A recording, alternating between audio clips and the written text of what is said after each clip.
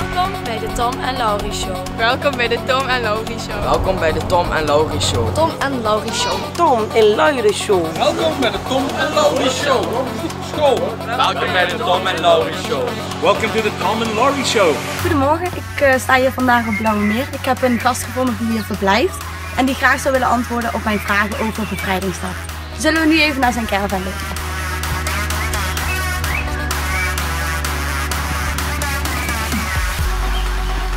Goedemorgen. Goedemorgen. Goedemorgen. Bedankt dat u wilt deelnemen aan mijn interview. Uh, ik heb een artikel gelezen over de lezing van Bevrijdingsdag. Ja. Uh, hierin staat dat het Joodse volk 70 jaar geleden uh, bevrijd is van de verschrikkingen die zij hebben meegemaakt tijdens de Wereldoorlog.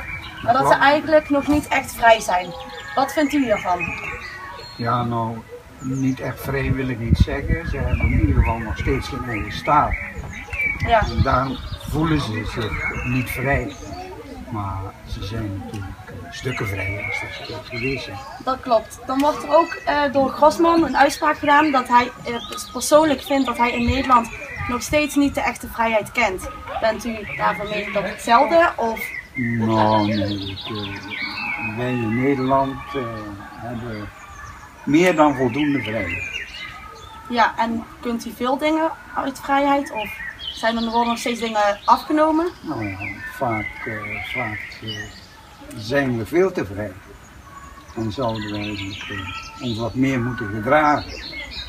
Ja, oké. Okay. Um, doet u zelf ook iets speciaals om bevrijdingsdag te vieren op 5 mei? Nou nee, ik doe niet echt iets speciaals. Niet meer vroeger, vroeger toen ik jong was. En wat ging u dan zoal doen? Nou, dan een feestje bouwen. En natuurlijk eerst de dag ervoor uh, herdenken. Ja. En daarna een feestje bouwen op bevrijdingsdag op uh, 5 mei. Oké, okay. um, dan heb ik nog een vraag over de herdenkingsdiensten van vroeger en nu. Ja. Is er heel veel verschil? Want ja, wij kennen nu alleen de festivals die worden georganiseerd. Ja. Uh, hoe was dat vroeger? Nou, dat was vroeger in ieder geval niet, nee. Niet? Nee, nee, nee. nee. En wat deden ze dan precies? Dan ging je echt uh, jezelf vermaken en je ging de stad in en uh, meestal was er kermis of zo waar je naartoe ging. En nou ja, zo vierden wij dat. Gewoon leuke dingen doen, ja, leuke om vrijheid te ja. ja. En dan heb ik als laatste vraag nog voor u, wat is vrede voor u? Ja, wat is vrede voor mij?